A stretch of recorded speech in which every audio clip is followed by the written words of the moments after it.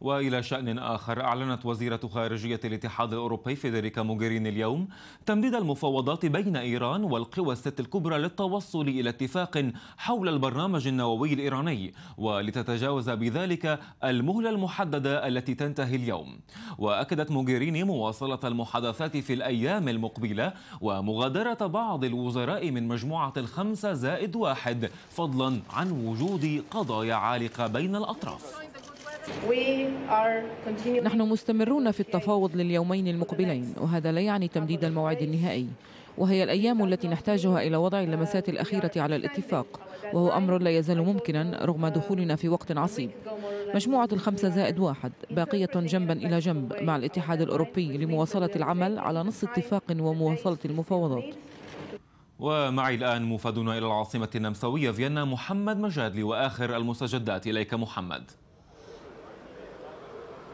نعم أمير يمكن القول أن هذه المحادثات ستدخل في نهاية هذا اليوم. الوقت بدل الضائع حيث أن كافة الجهود الغربية الدبلوماسية على إيران لم تنجح في إخضاعها والتوصل إلى اتفاق في هذا اليوم. لذلك هناك تمديد في نهاية المطاف الدبلوماسية الإيرانية هي التي نجحت في إقرار قراراتها وفي إقرار أيضا شروطها على هذه المحادثات. لذلك نحن نشهد تمديد حتى يوم الجمعة المقبل.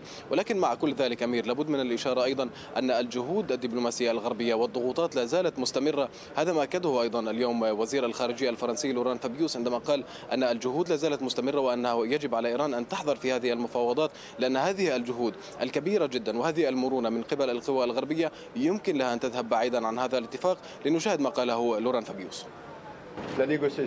المحادثات النووية الإيرانية ليست سهلة.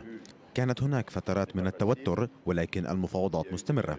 وتعلمون الموضوعات التي نتحدث عنها بالنسبة لجزء فرنسا في المفاوضات نحن نصر خصوصا على القيود اللازمة على الأبحاث والتطوير النووي والعقوبات على إعادة إنشاء أبعاد عسكرية محتملة للبرنامج النووي الإيراني الماضي إذا محمد كيف يمكن قراءة تصريحات وزير الخارجية الفرنسي لوران فابيوس؟ نعم أمير بدون أدنى شك. فرنسا هي اللاعب الأصعب, الأصعب وهي الورقة الصعبة جدا أيضا بما يتعلق بهذه المحادثات تجاه إيران.